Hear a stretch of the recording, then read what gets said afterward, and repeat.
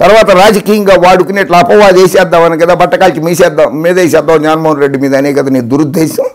Yes నేను హత్యా రాజకీయాలు చేయను. గూండా రాజకీయాలు చేస్తా. హత్యా రాజకీయాలు చేయను గూండా రాజకీయాలు చేస్తా. నేనేం హత్యా రాజకీయాలు చేయను ఊండా రాజకీయాలు చేస్తా. ఏంటి బాబు అన్న? ఇంకోసారి అన్న. ఊండా రాజకీయాలు చేస్తా. ఏంటి బాబు అన్న? ఇంకోసారి అన్న. చేయండి. నేనేం హత్యా రాజకీయాలు చేయను. ఊండా రాజకీయాలు చేస్తా. ప్రజాస్వామ్యయుతంగా చేస్తా. ప్రజల కోసం రాజకీయాలు చేస్తా. నలభై ఏళ్ళు నలభై ఐదేళ్ళు నేను చూస్తున్నా. ఒకటి రెండేళ్ళు కాదు. ఇది election commission of India. Rules and regulations పార్టీల వాళ్ళకి ప్రతి రాజకీయ పార్టీకి ఉంటుందన్నమాట. ఎన్నికల కేంద్ర ఎన్నికల సంఘానికి విజ్ఞప్తి చేస్తున్నా ప్రధానమంత్రి నరేంద్ర మోడీ గారికి హోంమంత్రి అమిత్ షా గారికి విజ్ఞప్తి చేస్తున్నా ఆంధ్రప్రదేశ్ ముఖ్యమంత్రి జగన్మోహన్ రెడ్డి గారికి కూడా విజ్ఞప్తి చేస్తున్నా. ఆయన మాట్లాడిన మాటలు ఏదైతే హత్యా రాజకీయాలు చేయను గోండా రాజకీయం చేస్తా అన్నాడంటే గోండా రాజకీయం చేస్తానంటే ప్రజలు భయపెడతారనే కదా ప్రజల్ని భయపెట్టినట్లే కదా. అందులో ఈ ఎన్నికల సంఘం ప్రకారం రూల్ నెంబర్ పదిహేను. రూల్ నెంబర్ పదిహేను ప్రకారంగా has the mandatory provision as in section twenty nine A bracket five of the representation of people act nineteen fifty one that the party shall bear true faith and allegiance to the constitution of India as by law established and to the principles of socialism secularism and democracy and would uphold the sovereignty unity and integrity of the India. అది శాంతి భద్రతలో భంగం కల్పించము. అటువంటివన్నీ ఉన్నాయి. Telugu Desam party గుర్తింపు రద్దు చేయాల్సిందిగా ఎన్నికల సంఘాన్ని కోరుతున్నాను.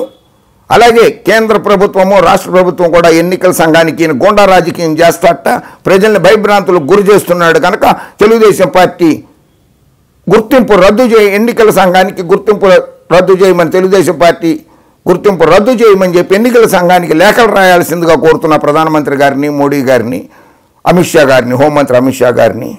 బాబు ఇన్ని కథలు చెప్తావు. ఇన్ని కథలు చెప్తావు. కేంద్ర ప్రభుత్వ అధీనమైన సంస్థ central bureau of investigation CBI. Government of Andhra Pradesh GOMS one seventy six home SCA department dated ఎనిమిది పదకొండు రెండు వేల పద్దెనిమిది నాడు సిబిఐని రాష్ట్రంలో అడుగుపెట్టనివ్వనని చెప్పి రాష్ట్ర రాష్ట్రంలో రాకూడదు సిబిఐ రాకూడదు రాష్ట్రంలో నుంచి వెళ్ళిపోవాలని చెప్పి ఆర్డర్ పాస్ చేసావు కదా one seventy six GO number.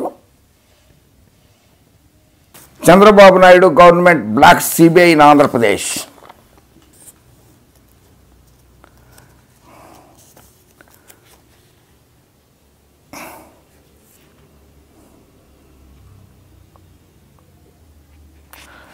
GOMS number నూట తొమ్మిది ప్రకారంగా సిబిఐ రావడానికి అనుమతించారు. GO number one seventy six ప్రకారంగా అనుమతిని రద్దు చేశారు Chandrababu Naidu garu.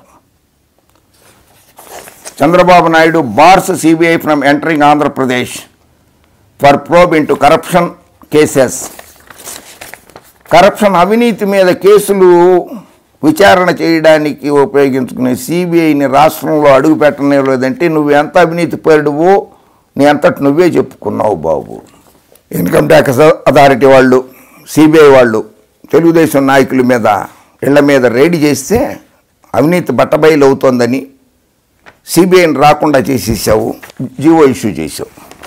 నువ్వు సిబిఐని ఆంధ్రప్రదేశ్ నుంచి వెళ్ళగొడితే జగన్మోహన్ రెడ్డి గారు ముఖ్యమంత్రి అవ్వంగానే GOMS number eighty one home SCA department dated six six two thousand nineteen ఆరు ఆరు రెండు వేల పంతొమ్మిదిన నెల రోజుల్లోపే అధికారంలోకి వచ్చిన జగన్మోహన్ రెడ్డికి సిబిఐ అంటే భయం లేదు. నువ్వు వెళ్ళగొట్టావు భయపడి వెళ్ళగొట్టావు ఆయనకి భయం లేదు. ఆయన సిబిఐని ఆరు ఆరు రెండు వేల పంతొమ్మిదిన జీవోఎంఎస్ నెంబర్ ఎయిటీ వన్ ఇచ్చి మీరు ఇచ్చిన GO number one seventy six eight eleven two thousand నైన్టీన్ని తీసేసి సిబిఐని రాష్ట్రంలోకి రానిచ్చారు.